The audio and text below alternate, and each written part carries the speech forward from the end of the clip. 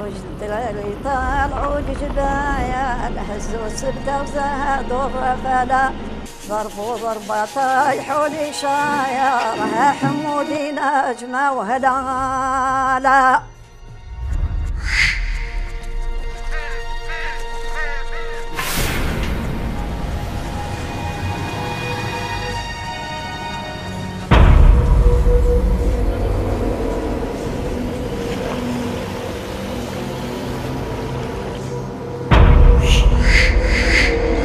اللي ما تحطيناهم تحت البلايل والبلايل بالفايل فرميناهم وجينا هابطين.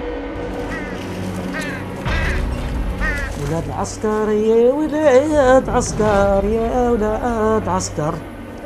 ولاد العسكر يا الأحرار يا الأحرار.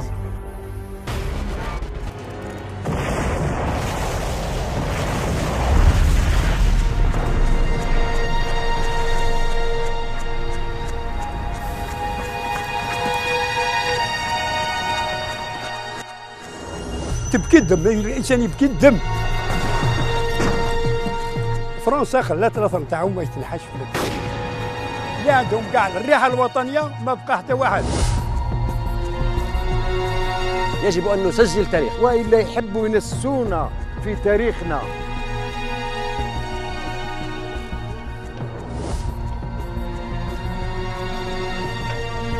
كي نديروا مصالحة مع التاريخ نقولوا باللي المصالحة الوطنية ولات مصالحة شاملة.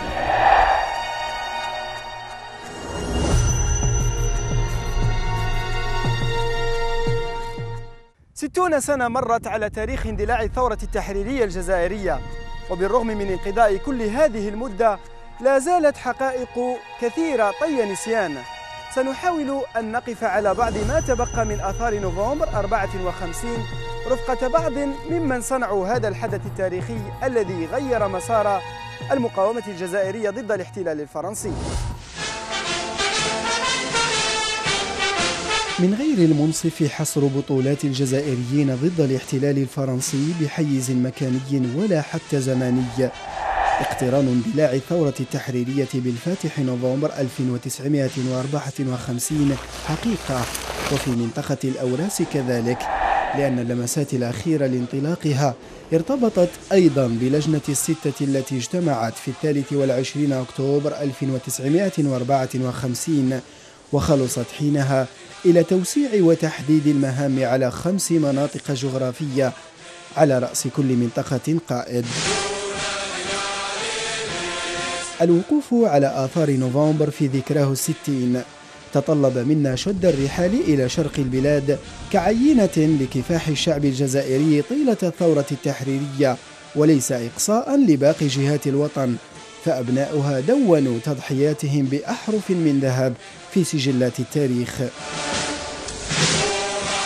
لا ينكر أحدا أن القرى البعيدة والجبلية هي من أذاقت المستعمر الفرنسي شراسة مقاومة المجاهدين الجزائريين كما هو الحال بالنسبة لقرية كيمل أو المنطقة المحررة الواقعة على الحدود مع ولايتي بسكر وخنشلة. الوصول إلى كيمل ليس سهلا.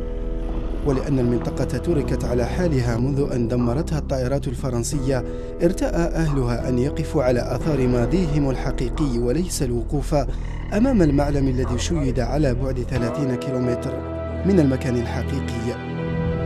إيش محروق هذيك الدار؟ بالك هذيك. إيه. هنا نوصبهم بالليل تعشى هنا عندنا نهار 16 تعشى عندنا هنا وخطب علينا مع سي عثمان معاه بن زحاف معاه كما قلت كريم ما نقولوش التاريخ يتدرج منفو عليه.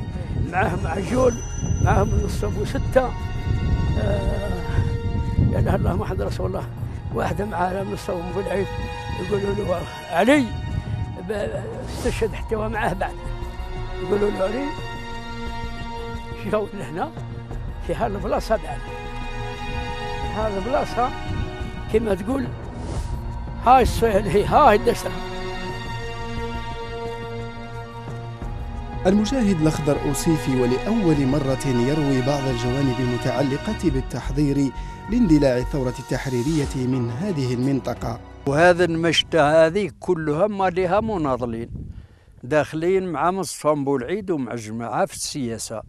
وكانوا جماعة بن عودة وبن طوبال وبيطاط الله يرحمه وحباشي اللي مات هالأيام كل كانوا هاربين من الاستعمار وبعثهم سي مصطفى يجوا لهنا. فهمت؟ ومدايرين لهم carte d'identité دارها لهم سي محمود بن عكشه فارس وكانوا يدوروا في الجهة هذه. ويخدموا في الناس يوجهوا وينعتوا وكذا ويرشدوا الناس. آه الاستعمار على بالو بالمشتى. هذه راهي كما يقولوا هما بيبية كاملة. دربوا هنا دربوا في الجبل كما جينا دربوا في كل بلاصة. فهمت؟ وعطاهم أمر سي مصطفى قال لهم شروا السلاح. وهذه الجهة كامل شروا السلاح. ليلة الثورة كل راح ومن هنا مسلحين بسلاح فرنسيس. 16 نوفمبر جاوا على الجامعة اللي كنا فيه. 54 54 بداوا شعلوا هذيك وجملوا جاء العسكر قوة جاوا على الحجر هذيك وجاوا هكذا وجاوا من هي قطعوا على واحد البلاصة نقولوا لها مالو. فيها ديار والمشتى هذه كامل شعلوها عقبوا للدشرة. كي عقبوا للدشرة وصلوا للدشرة دوماندوا الطيارات جاوا قنبلوا الدشرة. بعد اللي راحوا الطيارات قنبلوا الدشرة دخل العسكر.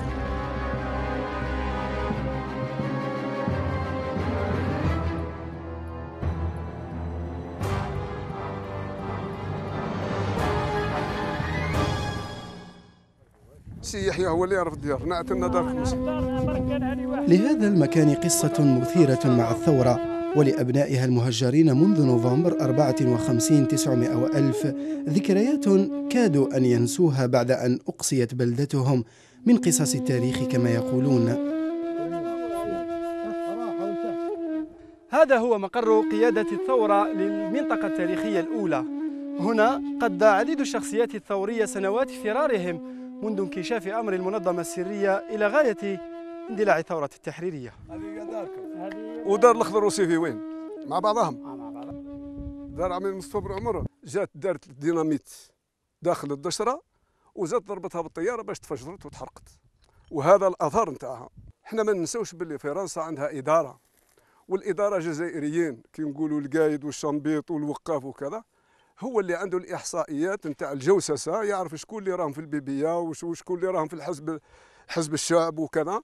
كي ثور الثوره بطبيعة الحال راح ي rendre compte للفرنسا الزينة باش ترتكب الجرائم اللي هي ارتكبتها. اذا هذا المشتى ربما كاين عدد كبير منها اللي هو انضم في السياسة ثم ليلة 54 ثبت الإدارة الجزائرية الموجودة نتاع دوار كيمل. اعطت المعطيات نتاعها قال كاين من الحمام 400 وربما من هذه تمسخت 100 ولا 20 اذا جات فرنسا خصيصا تحرق هذه المشتتين. يعني مشتة الحمام ثم من يساندها أو من كان بجنبها هي تمسخت. كنا عايشين هنا. هذه القلعة هذه فيها 300 دار وما يزيد على التروازيام ايطاج لكن أنا كنت صغير ظهر لي العاصمة ظهر لي باب الواد ظهر لي زينة يوسف في ذاك الوقت. اليوم هنا أطلال. خلاتها أطلال فرنسا لا لشيء إلا لأن هذا سكان هذه المنطقة وكل شاركوا في ثوره التحرير. إحنا جزائريين منكوبين أرضنا حرقت آبائنا توفوا شهداء. نريد طريقا نريد معلما تاريخيا على الأقل للزوار على الأقل الذكرى والذكرى ناقوس يدق في عالم النسيان. فنحن نسينا ابنائنا ما يعرفوهاش طول. حبينا يعرفوها إن شاء الله ويعرفوها الأجيال القادمة باللي هؤلاء هم من فجروا ثورة التحرير. من شاركوا مع إخوانهم المجاهدين على مستوى الوطن. إحنا إحنا نفتخروا بأبطالنا. نفتخروا بأبطالنا على مستوى الوطن. ماهوش غير على القرية هذه على مستوى الوطن. وما نندموش. ابدا ولا نندم. رغم الحرمان ورغم كذا ولكن دائما نعيش نعيش على على ذكر على ذكر نتاع الجهاد على ذكر تحطيم الاستعمار. هذا هذا فخر لنا ولكن الشيء اللي نسألوه لماذا؟ لماذا نساونا؟ علاش نساونا؟ وإلا يحبوا ينسونا في تاريخنا. إحنا نطالب باللي هذا التاريخ هذا لازم يظهر للجزائريين كل يظهر للجزائريين وزوروا المنطقة الجزائرية. كل إذا توفرت لهم الطريق وتوفر لهم الإمكانيات. دشرة ولاد موسى ولاستراتيجية موقعها بمنطقة أشمول بأعالي الأوراس. كانت محطة تزويد الأفواج التي وزعها قائد الولاية التاريخية الأولى مصطفى بن بولعيد بالأسلحة للقيام بعمليات جهادية ضد مراكز العدو إيذانا باندلاع ثورة نوفمبر المجيدة. هذا هو المكان اللي انطلقت منه الثورة انطلقوا من هذيك الساعة قلت لك الجروبات كل جروب راح في جهة عطالهم يصير مصطفى وين يتجوا. هذيك الساعة بدأت الثورة. هذه. اليوم تحول المكان إلى متحف تاريخي نموذجي يضم تفاصيل حكاية نوفمبر بدقة. ويحفظ ذاكرة من مروا من هنا على غرار المجاهد محمد عثامنة الذي لم يكن من رعيل نوفمبر 54 مجندا لكنه التحق بصفوف جيش التحرير مطلع العام 1955 وكلف حينها بالكتابة العامة. بعد التحضير وبعد تخزين السلاح والتحضير تاع المجموعة لأن استدعاء استدعاهم على طريق المسؤولين كل واحد بعث له كل مسؤول جاب قام جاب الفوج نتاعو لهنا في هذا المكان هذا بشرط ولاد موسى. و وقتاش؟ واش من نهار؟ هما بداو المجموعات من من من 28 أكتوبر. بداو يلحقوا لهنا. بداو يلحقوا على خاطرش لأنه اللي دخل لهنا ما يخرجش. لأن المكان هذا راك تشوف أفول دوازو 4 كيلومتر من الريس لهنا مكشوف باش باش يراقبوا يعني التحركات نتاع العدو والتحركات نتاع المخابرات نتاع لأن في هذيك الوقت كان دايرين حجز في وسط الريس وكاين قرض موبيل نتاع فرنسا بالعدو. كان من قبل كان لهنا من سنة 52 وهو له ما لا المكان هذا قريب للريس ما يشكوش فيه.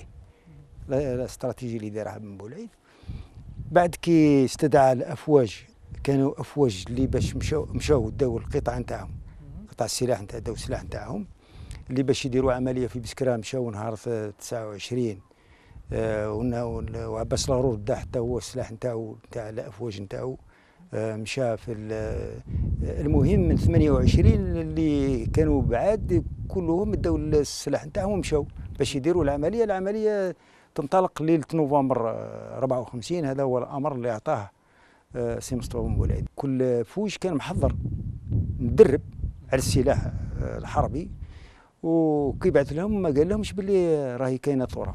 الثوره راهي عندنا عليها في في المكان يقولوا الجرين القرين هذا القرين هذا ثم اللي داروا البيان تاع أول نوفمبر والنظام الداخلي آه ثم اللي داروه اجتمع مع القادة برك. مع القادة قال هما قال لهم باللي راهي تكون ثورة. من 8 أكتوبر وهما بداو بداو الروتوشات الأخيرة يعني. الروتوشات الأخيرة باش يبعثوا الأفواج.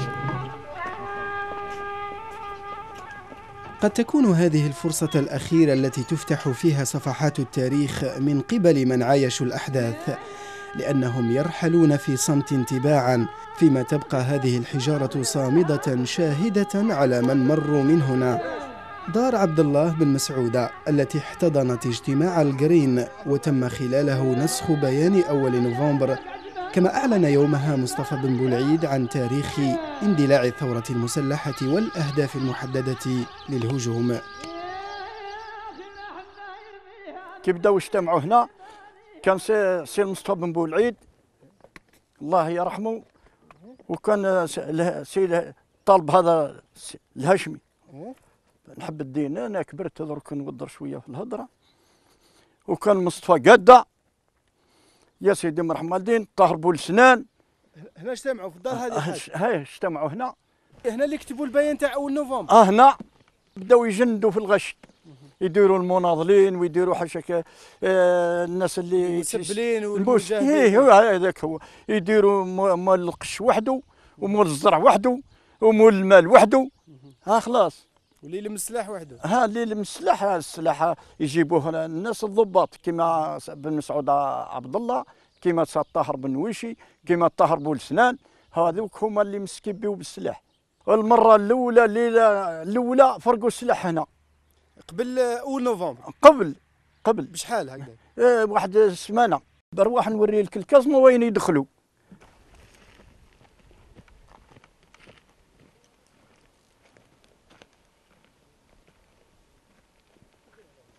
وثاني حق الله ورسول الله. هذه كازما الحاج. هذه هي الكازما. يدخلوا فيها. يا الدار الدار هذه ظلمة. ويدخلوا المجاهدين لداخل. يدخلوا ها هي راحت تروح بعيد هذه ماشي غير هنا. ما تروح بعيد تهز 20 30 تراس أنا مي. باش يقدروا يهربوا. هي ها ما يهربوش. يقعدوا مخبيين لداخل. ها يبقاو مخبيين لداخل. تيروح العسكر خلاص. يعاودوا يخرجوا منها آه عادوا يخر- يحلوا عليهم ويخرجوا. وانت تخبيت فيها ديجا الحاجة؟ يا تخبيت فيها حتى نكره.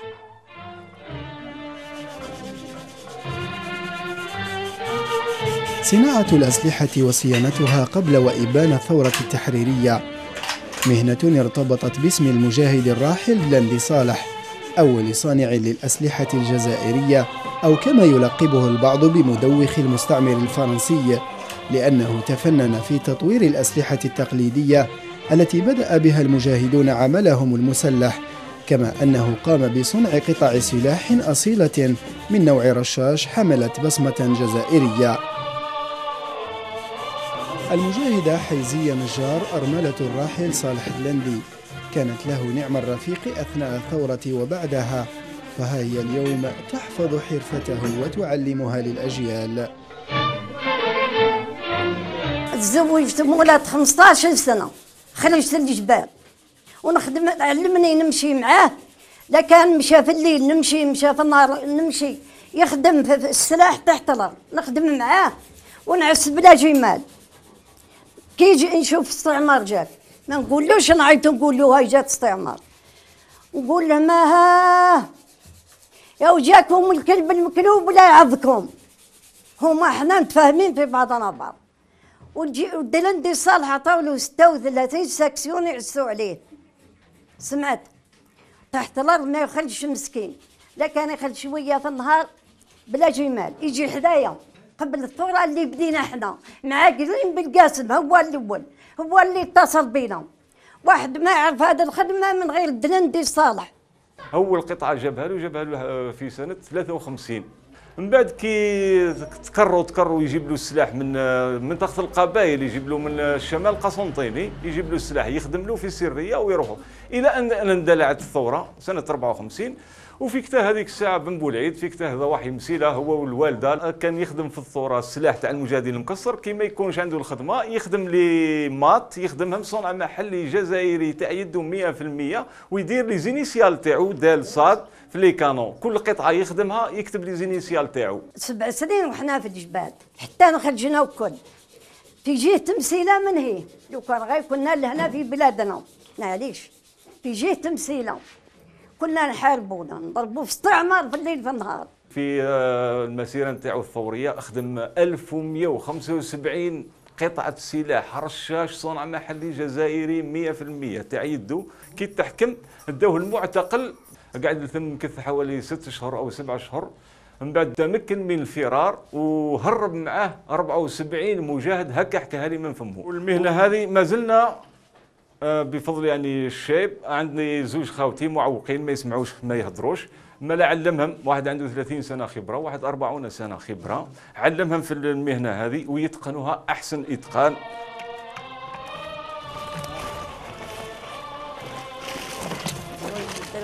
طلعوا الجبايا هزوا سبتة وزادوا الرفلا ضربوا ضربة طايحوا لي شايرها حمودي نجمة وهلالا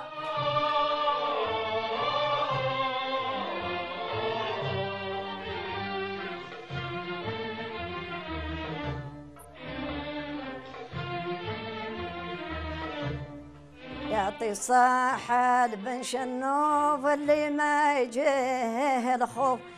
كي طياح صفوف صفوف هذه وليدة الشاوية هذا الغناية كي نغنيوهم. يخرجوا ال sections كل يتفرجوا فينا. باش نعطيو لهم الشجاعة باش يفرحوا ويقولوا ها هم ولاد الجزائر يخدموا على بلادهم. نفرحوهم ويفرح إحنا نتموا الغنايه هما يضربوا بالبارود وحنا نطردوا الصغاريد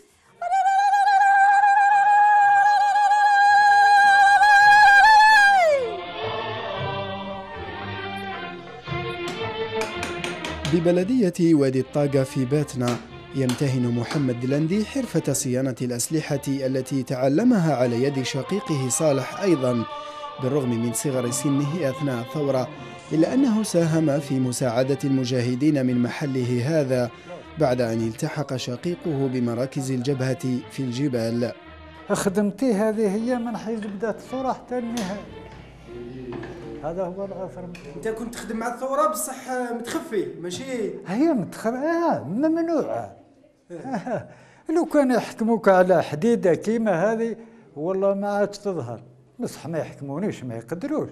ما وكي بدأت الثوره شحال شحال من سلاح خدمتوا أنت ل- ل- المجاهدين؟ أنا خدمت واحد 600 وخويا الله يرحمه خدم 1600 600 قطعة تاع سلاح إيه هذوما كانوا بونسمار بكري والجيش ما عندوش سلاح. إيه. ماهوش متوفرين بالسلاح. ويجي ويجيب السلاح نتاع بونسمار نتاع بكري نتاع أبو عمامة ونتاع روح به. وين رجعوهم يضربوا القرطاس هذا. حتى نحزوا السلاح نتاعهم ويطيشوا هذوما الشعب يطيشوا. دوي نوفمبر لم يقتصر على منطقة الأوراس بل وصل صداه أقصى الشرق الجزائري كما غربه وجنوبه وشماله. وإن اختلفت تواريخ بدء العمليات العسكرية للمجاهدين من منطقة لأخرى إلا أن استهداف المصالح الاستعمارية لم يتوقف هنا بعزاب في سكيكدا. حيث كان ولا يزال المجاهد أحمد هبهوب أحد أهم من تبقى من إطارات الولاية التاريخية الثانية الشمال القسنطيني. يتردد أحيانا المجاهد هبهوب في سرد ما دار في كواليس القيادة آنذاك بشأن بدء العمل المسلح المنظم لكنه أفصح عن جزء هام يمكن أن يكون نقطة انطلاق للمؤرخين والباحثين. اللي خلى عزبها تعيش هذيك المرحلة نتاع المد والزجر هو علي منجلي. نعم وعلي منجلي اللي كان معارض هو مركزي. كان معارض لواش؟ هو مركزي. معارض معارض معارض للمقاومة لولا المشكل نتاع اللي قالوا جماعة قتلوهم بداهم قتلوهم. باختصار باك داو مع لمهم قتلوهم بقى هو جاو كان على بالو بيه محضر روحه في الدار كي جاو كي شافهم جاو ليه باش باش يلقفوه دخل خرج في حال طيش روحه من, من, من البلاف دخل في دار خلاف. والعبد خرج المهم عنده زهر كي نجح. لولا هذه ما كانش يخرج لجيش التحرير قلت في يعني في كتاباتي قلت ديدوش آه، خذله علي من رجلي. ما خذلوش عذاب؟ عذاب الشعب عذاب خاطي الشعب ما على بالوش هذا السر كان عند عند قيادات. الشيء اللي عشته في الوقت هذاك الجماعه كانوا خايفين خوف. خد جبلاء كان جبل. ما فيش نقاش في مصير. مصير الم... المشت... الأمة ما فيش نقاش. تبع واسكت. أنا حنا قداش كم من سنة والشعب الجزائري ناضل. يحضر في هذه. يحضر باش فرنسا تعطي له تعطي له الاستقلال بلاش. هذا مستحيل. إحنا ما عندناش سلاح. وين عمل مسلح؟ إحنا الشيء اللي كان يرافق العمل السياسي هو آه، تخريب. وحرب العصابات ها تخريب. تخريب ال- باش الاعمده نتاع الهاتف نتاع نتاع مثلا نتاع آه، الكهرباء نتاع المهم خلق مشكل للفرنسيين مشكل الاقتصاد تاع فرنسا. حتى بشوية بشوية وين انطلقنا جي جدا هو قبل مؤتمر الزمان بعد ما جاب بن عودة. وش من سنه 54 آه، 55 بداية 55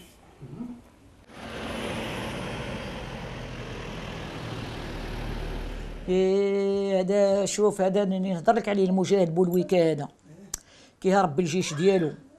وكاين يعني منع القليل منهم منع القليل. مالاش بنا عليه حنا وحنا اللي نجبدوا الغناية وحدينا؟ قلنا له بولويكا يا بولويكا وين هارب تحكم في ربي وتخرج بالضرب.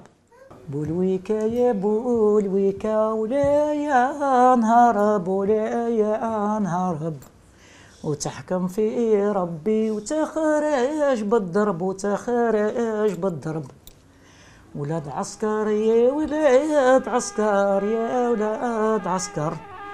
ولاد عسكر يا الأحرار يا الأحرار. وجوكم المجاهدين حقنا الانتصار ولحقنا الانتصار. بأعالي جبال البابور الممتدة إلى جيجل ومن عمق غابة يرجان إلى أعالي الداموس مشاون بومديني أو ما يعرف حاليا بالدرع. هنا كان مقر قيادة الولاية التاريخية الثانية منذ 1956 وإلى مطلع سنة 1959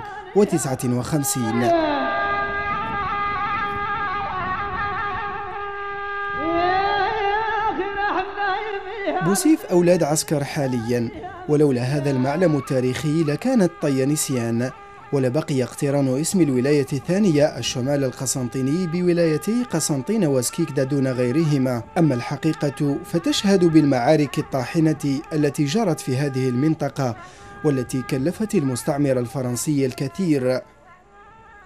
أنا في دار النهار هذاك ما كنتش معاهم. هذاك النهار صار يعني حرب كبير. كوبتيرات ديايا هذا هذا اللي كنت أنا معاه هذا بولويكا الله يرحمه. أنا في اللي كنت رحت برمسيو لدارنا هو جهر مع الواد هذا هو والجنود نتاعو. سبكوا لهم الطير الكوبتيرات المهمة هذاك النهار يعني اللي استشهدوا بزاف. وفي هذا مشاون يا يا هبطت عليهم بلا بالم هذاك. البومب هذاك تاع اللي يحرك. كي يضرب البومبه هذيك الدنيا كامل تشعل. هما يضربوا من تحت. وهما فرنسا من فوق بالطياير هما غلبوهم بالطياير. ماتوا جنود استشهدوا ومات العسكر تاع فرنسا. دروك نهار كامل من الصباح من الفجر قول من الفجر حتى العشية. جات الطيارة هذه تضرب في تما تحرك في الديار تضرب في الشعب. والمجاهدين هادو في الجبل هذا. هما يضربوا من, من تحت وهي تضرب من فوق. طيحوها. كي شعلت فيها النار. راحت طول راحت هذه البلاصه يقولوا ولاد عربي. طاح التم وهذاك البيلوط اللي يسوق فيها أو اللي راكب حداه. طاح فيها هادو ولاد خالد. وزاد هكذا نقول لك آه، ما عارفة شحال. وزادوا طيحوا هذه اللي طاحت في هذا الزان عندنا بعدا في ولاد عسكر هادو. زادوا طيحوا الطيارة هذه تم. رمضان خنوف واحد من ضباط جيش التحرير بالمنطقة يشهد الكثير ببطولاته وشجاعته إبان الثورة ما جعله فارس المجاهدة فاطمة العايب التي تزوجته في معاقل المجاهدين بمنطقة أولاد عسكر. خنو في رمضان هذا اللي هو زوجك هو الزوج نتاعي. هو groupe commando هما في 12 أو 15 مجاهد. وهذا groupe commando باش نفهمك كيفاه. هادو مدايرين spécial يبعثوهم لا للضرب لا للعسكر. تما هادو volontaires فهمت؟ هذا خنو في رمضان العسكر دائما ي chercher عليه تما يقول لهم غير نشوف هذا خنو ف- ما ماش مبيع بالنقمة. يقول لهم رمضان أنا في جبل على بالو يعرفني خدمت حتى معاهم. آه خدمت حتى معاهم في groupe commando هذا. وأنا نعرفه يعني إنسان مخلص مجاهد شجاع آه، ما شاء الله. خطبني زوجنا. عم رمضان لم يشأ الحديث عن بعض أهم عملياته العسكرية. إلا بالوقوف على أماكن تنفيذها. والمنطقة هذه كانت فيها الولاية الثانية من 56 حتى 58 المقر تاع القيادة. مقر تاع القيادة في هذا المكان هذا لتحت كان بن طبال كان علي كافي كان بوبنيدر كان سي الحسين رويبة. هذو اللي كانوا هنايا في هذه المنطقة هذه. الولاية كانت هنايا عندها جيش خاص بها العسا ولا ال- ال- الكل إحنا كنا نمشيو نعملو. يبعثوكم بجوايح أخرى ما يبعثونا كل كل سيكتو في جهة كل هذه هي المسألة تاع هنايا. هذه قلنا كانت مقر الولاية الثانية. والعسة نتاعها هاك تشوف الجبل هذاك الفوق. الروشي. هذيك هي العسة آه، تحكم الثمانية الحزام هذاك حتى الفوق الحجرة هذيك. سكان منطقة أولاد عسكر وبالرغم من احتضانها مقر الولاية التاريخية الثانية يشكون تهميشها من سجلات التاريخ وحتى الحاضر لانعدام تهيئة واهتمام يليقان بما قدمته من تضحيات. ما كاينش حاجة يعني اللي تدل يعني على الناس هذا المكان هذا صح. كانوا مالها محتضنين محتضنين هذا المقر هذا. وكان كان ما بعيدش على المقر تاع القيادة العسكرية تاع فرنسا. ومع هذا لم تكتشفها ليكون ناسها نسائها ولا رجالها ولا شيوخها كانوا كامل مجاهدين. باش تجازيهم الناس هذو كيما هذا. جازيهم بالتنميه بهياكل. اللي اللي تدل اللي تعطي هذا المكان المكان هذه تاريخ. ما كانش. الشيء اللي جاو داروا داروا الهيكل بالحجر بالآخر حطوا الاسماء بعض المجاهدين المجاهدين. وخلاوها هكذاك. على الأقل يبنيو centre un centre أو مركز للراحة للمجاهدين. ومكتبه مكتبة تضم الوثائق الرسمية اللي خاصة بالولاية الثانية. وتكون مكتبة مرجعية معناها الطلاب يجوا يبحثوا هنا ويجوا كل شيء. هذا يعني أقل شيء.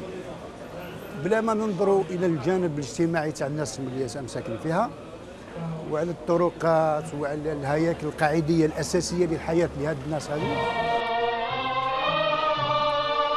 تهميش المنطقة لم يستثني أبطالها أيضا فالمجاهد الصادق مخبي يشكو حرمانه من الاستفادة من سكن ويقول أنه يعيش مشردا من مكان لآخر ولا سبيل له غير الإيجار. من الطورة من 54 وحنا في في جبال في, في كل حاجة لله يومنا هذا ما عنديش سكن أنا وكارين الكروة. خادم الطورة وتما يقول لك ما ما عندكش حق في السكن. كيف حتى عطاوها الحك هذه البلاد هذه؟ ما محرومة من كل حاجة لا وإنما فهمت ما بقاش استعمار نقول ما بقاش يهربوا من الطيارة ولا يهربوا من من, العسكر ولا حاجة تما مستقلين. ما مستفيدين حتى في أي حاجة. واحد الموتورات تبعهم مرميين. دي واصل هاو نقولوا وصل. دي ما وصلش هاو قاعد مرمي. التاريخ ما بدلهاش حكا. التاريخ فهمت البلاصة هذيك راهو كاين كانوا دموا ليها قومية. ما عندهاش حق تماما. في أي حاجة لا في السكن ولا في في, في المعيشة ولا في الطور ولا التركة حتى لهادو عامين باش باش تخدم التركة. در حفر الحفر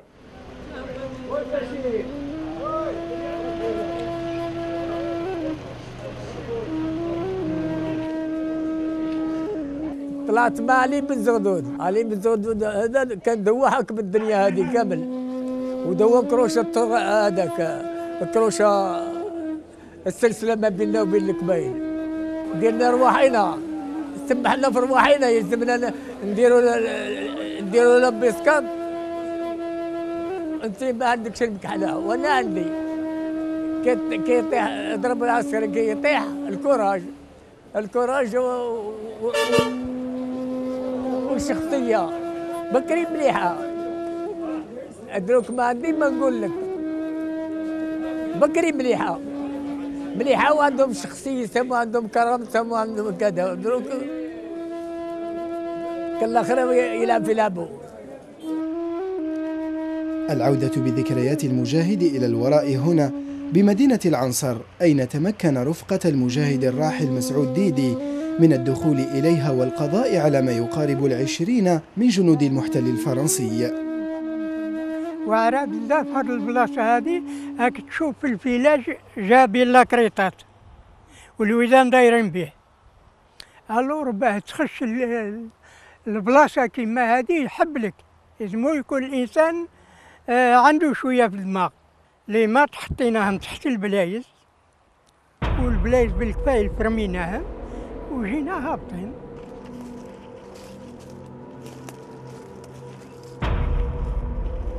جينا من هكذا وجينا لها وفاين آه دروك باه نعديو في الواد قريطات مقابلين ناكل.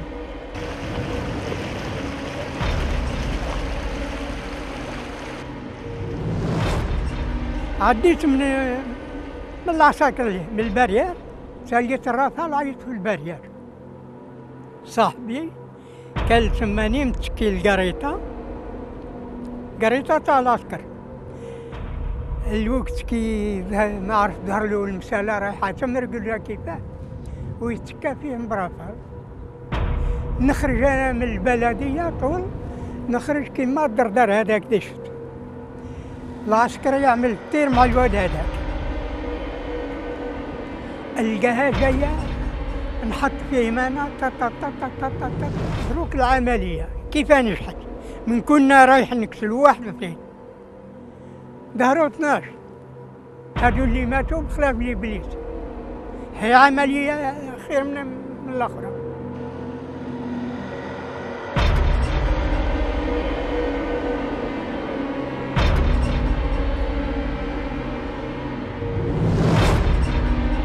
فوثيساس فوثيساس ينغاث لمان يموت ذا غريف يتوحوس فوثيساس ينغاث لمان يموت ذا غريف يتوحوس افي خفيس ويذ يمسمان اما ضو مد يحوس يفغ يخشم ذي الالمان ذوك سنسو يقرا يمنس تيفان تكن كري زرمان ويذ يبغان اذي يتوككس تيفان تكن كري زرمان ويذ يبغان اذي يخنونس تونس المقفاغي تيسوفغن ذي الشحنه افريدي سارو ماذا يبغى ذي سعد دي المحنه ذا عذاوي بغا فينا غذقول السياد دي المينا كي تحبي النساء غلان يدسد المعاونه تون مي قفذا ثيكلي تشفى ما وذي نحفن اشحال في الدنيا غلين اذا منزل ذي سفن يفاد فريدي ثلين ثقمت ذوات مثلا إن يسور تسيلين كرثة وذي موثن فوثيساس ينغاث لمان يموت ذا غريب يتوحوس افي خفيس وذي يمسمان اما ضو مد يحوس يفغ يخشم ذي الالمان ذوك سنسو يقرا يمنس تيفان تكن كري زرمان وذي بغانا ذي خنونس تون مقف ذا ثيكلين تشفى ما وذي نحاف إلى منطقة القبائل أو الولاية التاريخية الثالثة هذه المنطقة التي أنجبت عشرة إطارات كانوا أعضاء في المجلس الوطني للثورة أربعة منهم تولوا قيادة المنطقة على رأسهم كريم بالقاسم بالقاسم هذا المجاهد القائد الرمز الذي قيل عنه الكثير ويحاول اليوم الكثير أن يطعن في صدقية نضاله لأنهم يخلطون بين الاختلاف الإيديولوجي والواجب الوطني لهذا الرجل. وما لغز مقتله بعد الاستقلال إلا دليل على محاولة طمس حقيقته النضالية. لكن التاريخ يحفظ ذكراه وهذا المكان شاهد على ميلاده وبطولاته. لا لا ما كان لا خلاف لا وجهة نظر برك اللي كاين آه، بيناتهم. parce que هما déjà قبل 54 باش راحوا يندلعوا الثورة déjà ils ont sollicité la ولاية trois حنا عندنا في بلاد قبايل en 1954 كريم بالقاسم و- و les compagnons تاعو كاع كان عندهم plus de 1800 soldats. entraînés préparés et armés donc باش نقول لك العمل الثوري هنا في منطقة القبائل بدا سبع سنين ولا ثمان سنين من قبل اندلاع الثورة. كانوا مسلحين مدربين مسلحين. يديروا كما يحبوا ما يكونش المستقبل مقبل الماضي لازم الماضي باش نلحق المستقبل. الثوار ما كانش حتى خلاف بين الثوار. واشن العدو كيروح ما يخليلكش العسل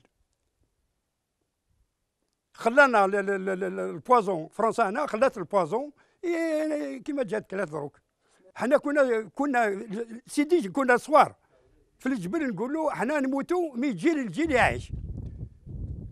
حنا كنا صغار 21 19 مي عندنا الكلمة هذا حنا ما عندنا حتى مقصود حتى الموت كان. الموت ولا حياة لازم إيه. حضرنا في ولادنا يهربوا عندهم اسم الحراقة. الدم تاع الشهداء ما يروحوش باطل. راهم يلعبوا بالد- بالدم تاع الشهداء راهم يسرقوا بالدم تاع الشهداء المقصود نتاعنا لا ميسيون نتاعنا. c'est la France depuis 1830 ولينا les esclaves في بلادنا. ناضوا الحمد لله رجال. راك تشوف فيهم هنا les 22 les responsables بداو الثورة بالمكحله بالمكحله تاع الصياده بلي مات. خلاص الحمد لله بلادنا indépendante ولات parce que لا الجيران في يدكم حنا خلاص. لا عندنا الا مليحة مليحة. درنا الواجب نتاعنا الواجب نتاعنا الواجب هاي راك تشوف les photos ما بقى حتى واحد. دروك ينوض من القبورة من القبورة يجي يروح يروح ال marché ولا كيف؟ كما في مختلف أنحاء الجزائر تستوقفك مقابر الشهداء التي تضم رفات من دفعوا حياتهم فداء لحرية هذا الوطن. في معارك كانت فيها إرادتهم وكبرياءهم تعادل طائرات ودبابات المستعمر الفرنسي آنذاك. كاين 383 شهيد مدفونين هنا. صارت في عمري كان تسع سنين. كانت أنا وعمتي آه، رحنا من هذه الدشرة هذه علاله علالا رحنا للربط هربنا باسكو هنايا كاين الناس كاين عسكر فرنسي هنايا بزاف وهربنا منا رحنا لهيكا. أه كنا نشاهدوا كيما صرات المعركة هنايا. خطرت نشوفوا النار أه تمشي تجري ومن بعد هذيك النار هذيك ماشي وهي وحدها اللي راهي تمشي. لا أه حكمت في رجل مجاهد آه، في في في قشو في صدرو خاطش كان فرنسا تضرب النابالم بواحد الغاز هكذاك يشعل يشعل. أه تحكم في راجل وراجل يجري يشوف وين وين يطفي وين واش يدير الركوب الحديث عن ثورة الفاتح من نوفمبر 54 بعد كل هذه المدة. الثورة التي كانت ولا تزال المثال الأنموذج لثورات التحرر في العالم أجمع. يجعل منها حديث الأجيال التي تلقت تفاصيلها في كتب تاريخ تغاضت عن الكثير من الحقائق سهوا وأحيانا عن قصد. تاريخ تعلمناه عبر مقررات البرنامج التربوي الذي رسخ في أذهاننا بطولات وأمجاد من صنعوا هذه الثورة وخاضوها وضحوا بأنفسهم وما يملكون فداء لنجاحها. كل هذا تم ترسيخه فعلا لكن اليوم بعد ستين سنة من اندلاعها ألم يحن الوقت بعد للكشف عن خبايا ما تبقى من أسرار هذه الثورة؟ أجل الوقت تح لمن لمن تتمدى؟ لمن تمدى؟ سؤال مطروح وينين؟ الجزائريين كل واحد هاك خشمه ودرجه على مش حاشمين واش كاين؟ تشافق على خطه خلي الشعب يمشي إحنا باش نبنيو دولة دولة عصرية دولة جزائرية آه كما هي موجودة في البيان تاع نوفمبر لكل مرحلة رجالها. قدموا خدمات جليلة للوطن من البداية. ولكن وصل الوقت اللي لازم نحضر الخلف. ما خلوش ولادنا من بعد يهلكوا بعضهم. الإسراء عند من تكون؟ ما تكونش عند الجندي. تكون عند المسؤول والكاتب نتاعو. هذا هما اللي مازالوا ما هضروش. نشوفوا السياسيين اللي عاشوا في الخارج وداروا كتاب كتب وكذا والى آخره. هذيك حاجات مازال ما ماهوش أسرار رسمية. لأن هنا كي نعطي لك أنا الأسرار نتاع نتاع الثوره ككل. آه، آه، فيها أسرار كثيرة وفيها تقدر تدير فتنة. خاطر كانوا الانتهازيين اللي يحبوا يشوفوا الثوره نتاع 54 كانوا عناصر اللي راهم مازالوا راهم ضد الثوره هذه. لكن البعض يظنوا أنهم اعطوا السر في الكتب في المذكرات نتاعهم. أنا نقول لا لا ما كانش. هذو من من ناحية المجاهدين العسكريين اللي راهم داروا الواجب تاعهم يعني؟ داروا المذكرات نتاعهم كتبوها. أنا ما ما نجيبش ننتقدوا لأنه حر. قال قتلنا إحنا رانا نقولوا باللي كاطارات نتاع الثورة. فيها مبالغة في في المذكرات كي يقول لك إحنا قتلنا في معركة قتلنا 100 عسكري ما كاينش منها. حديث الكواليس يضرب بشدة في ظهر تاريخ الثورة التحريرية ورجالاتها. فالمتمعن في ملامح من تبقى من المجاهدين اليوم يقرأ نوعا من الأسى والشعور بالحزن على حال البلد وهم من كانوا يعتقدون أن التاريخ سينصفهم ليجدوا حالهم على قارعة التاريخ الحاضر وحتى المستقبل. يحتفظون في داخلهم بأسرار يقولون بأنها ستكون صادمة لجيل الاستقلال والمهتمين بتاريخ الجزائر من جيل اليوم. ورغم إلحاحنا على البوح بها لأن الكثير من المجاهدين يرحلون في صمت حاملين تلك الحقائق والأسرار معهم غير أن حرصهم على استقرار البلاد وأمنها منعهم من ذلك. نسمع في التلفزيون ولا واحد يتكلم على الكتاب نتاعو la majorité فيهم ولا غير فستي في الفستي كي ينساو التاريخ وما ينساش آه. شوف كل حاجة تبان على حقيقتها. pas la vérité ما كاش la vérité شكون يخدم التاريخ؟ لازم les historiens. لازم يديو sac à dos ويطلعوا للجبل. يحوسوا يسقسيو النساء ويسقسيو كيف التاريخ. ماهوش يروح النوتيلاليتي ولا ولا النوتيل سان جورج يقصروا ثما donc حنايا كممثلين في الجمعيات اللي كما يقولوا on défend الذاكرة الجزائرية. on aimerait بيان المصالحة هذه تكون مصالحة مع التاريخ parce que كاين بزاف حقائق مازال ما تنكشفوش. كما مقتل كريم بالقاسم عبان رمضان وكاين سي الحواس عميروش الله يرحمهم كاع وبوضياف donc حنايا حبينا surtout حقائق مصالحة مع التاريخ. c'est très important كي نديروا مصالحة مع التاريخ؟ تماك نقدروا نهضروا نقولوا باللي المصالحة الوطنية اللي دارها عبد العزيز بوتفليقة الرئيس باللي ولات مصالحة شاملة. راح نموتوا على وجوهنا ما نشوفوش بلادنا. هذه علاه هذه بومبا بومبا خلينا ولاد ولاد من بعدنا خلينا قنبله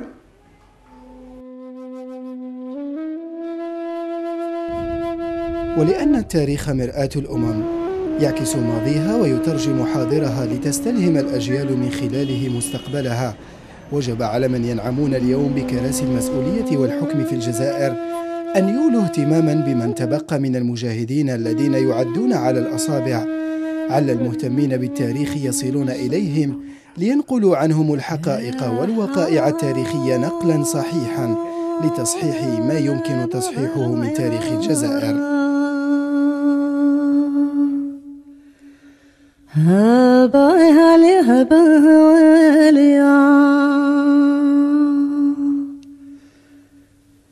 يا بعد في الله.